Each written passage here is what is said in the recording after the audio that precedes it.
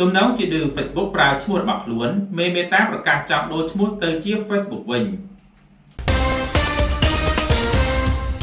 ក្រោយពី Mark Zuckerberg ផ្លាស់ប្តូរឈ្មោះក្រុមហ៊ុន Facebook មកជា Meta មានក្រុមហ៊ុនមួយឈ្មោះ Meta ដែររកស៊ីលក់កុំព្យូទ័របានលើកឡើងថាឈ្មោះរបស់ខ្លួនបានចុះបញ្ជីរួចស្រេចមុនហើយជាមួយនឹងដំណឹងលេចឡើងពីសារព័ត៌មាន TMZ ថាបើ Facebook ចង់បានឈ្មោះនេះយកទៅប្រើមែនត្រូវបង់លុយ20លានដុល្លារ ទំនងជាខឹងសម្បាជាមួយនឹង Facebook និងជាឱកាសក្នុងការទាញចំណាប់អារម្មណ៍ក៏ដូចជាឌឺដងឲ្យ Facebook ផងនោះលោក Zatson មេក្រុមហ៊ុន Meta លក់កុំព្យូទ័រនោះបានបង្ហោះវីដេអូមួយនៅលើបណ្ដាញសង្គម Twitter ថាក្រុមហ៊ុន Meta របស់ខ្លួននឹងបដូរឈ្មោះទៅជា Facebook វិញជាមួយនឹង logo ពណ៌ក្រហម លោក Zack បានប្រើប្រាស់សម្ដីគ្រប់ម៉ាត់ពេលដែល Mark Zuckerberg និយាយនៅក្នុងថ្ងៃប្រកាសឈ្មោះ Meta ដំបូងនោះយ៉ាងណាក៏ដោយមកទល់នឹងថ្ងៃនេះបើតាមការចុះផ្សាយពីសំណាក់សារព័ត៌មាន Business Insider បានឲ្យដឹងថាឈ្មោះ Meta នេះមិនទាន់សម្រេចថាបានទៅលើនរណានៅឡើយនោះដែរ